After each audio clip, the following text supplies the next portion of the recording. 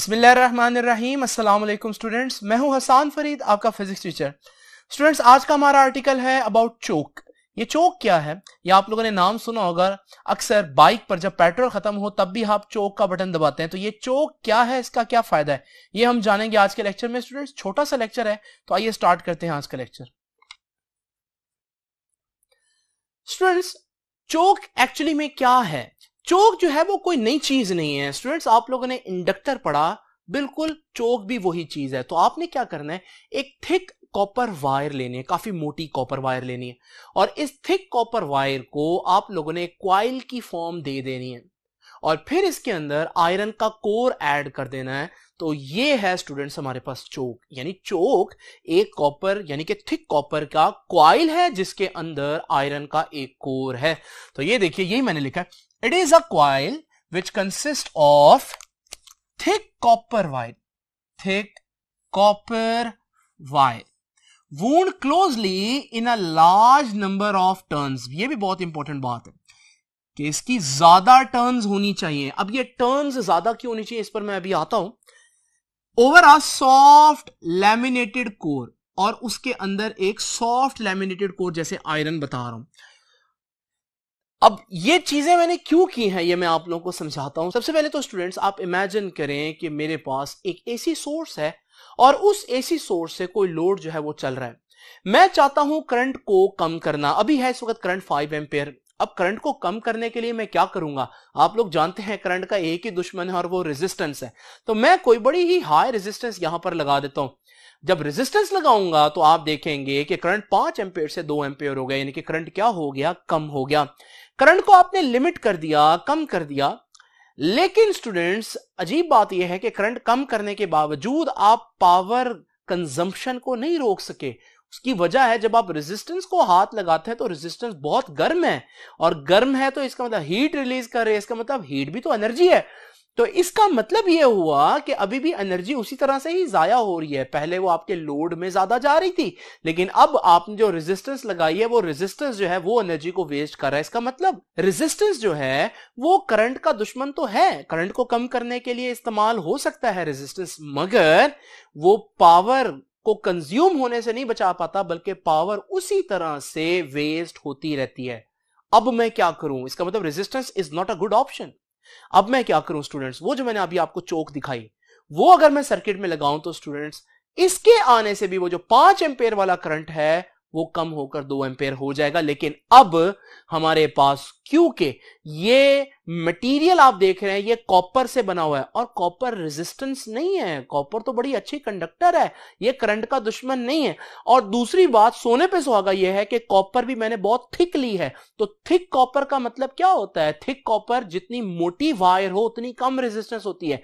तो ना सिर्फ़ मैंने एक बड़ा अच्छा मटीरियल लिया बल्कि मैंने वो मटेरियल काफ़ी थिक लिया है तो उससे रेजिस्टेंस तो और कम हो जाएगी, जिसकी वजह से हमारा जो करंट है, वो रेजिस्टेंस की वजह से कम नहीं होगा। बल्कि आप जानते हैं कि जो क्वाइल है, वो वैसे ही ऑल्टरनेटिंग करंट को अपोज करता है।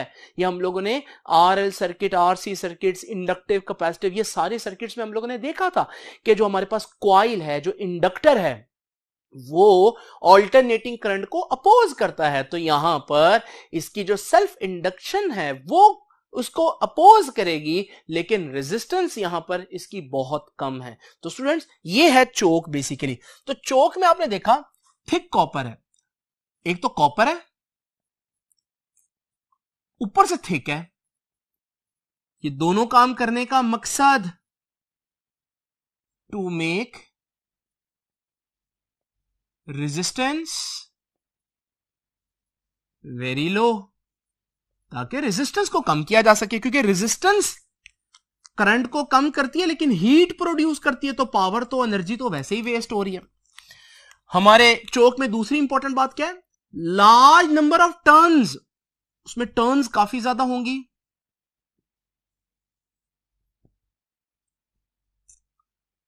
और दूसरी बात क्या है? उसके अंदर सॉफ्ट लेमिनेटेड कोर है।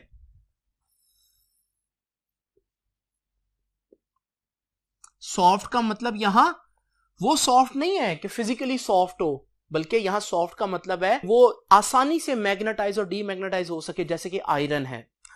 ये दोनों काम क्यों किए स्टूडेंट्स हम कोर अंदर रखकर टर्न्स ज़्यादा करके क्या बढ़ा रहे हैं? To make self inductance very high तो देखिए, हम दो काम कर रहे हैं। रेजिस्टेंस को बहुत कम और सेल्फ इंडक्टेंस को बहुत ज़्यादा करने की कोशिश कर रहे हैं। उसके लिए भी दो काम किए, इसके लिए भी दो काम किए। तो इसका मतलब हमारी जो चौक होती है, उसकी रेजिस्टेंस बहुत कम और सेल्फ इंडक्टेंस बहुत ज़्यादा होती है। और करंट को रोकने वाला कौन होता है इसकी मौजूदगी में? रेजिस्टेंस नहीं होती, वो तो बहुत कम है, बल्कि सेल्फ इंडक्टेंस होती है कॉयल की जो करंट को अपोज करती है एसी को ऑल्टरनेटिंग करंट को।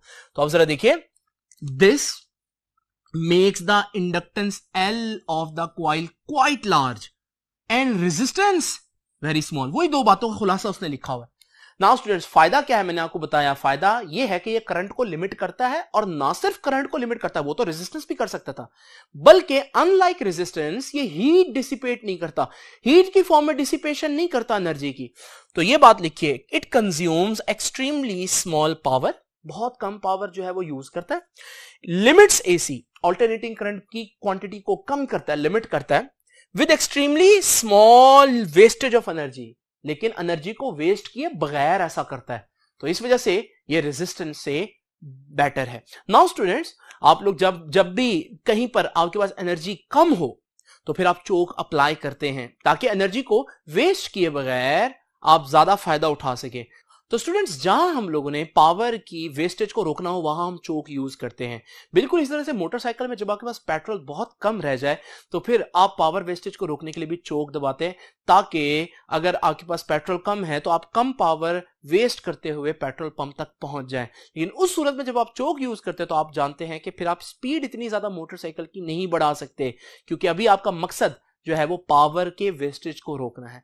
नाउ स्टूडेंट्स ये था हमारा आज का लेक्चर बड़ा सिंपल सा लेक्चर है। आई होप कि आपको समझ में आएगा होगा। इसको शॉर्ट क्वेश्चन और एमसीक्यू के लिए रेडी करना आप लोगों ने। अब आपसे इंशाल्लाह मुलाकात होगी नेक्स्ट लेक्चर में। तब तक के लिए अल्लाह हाफिज।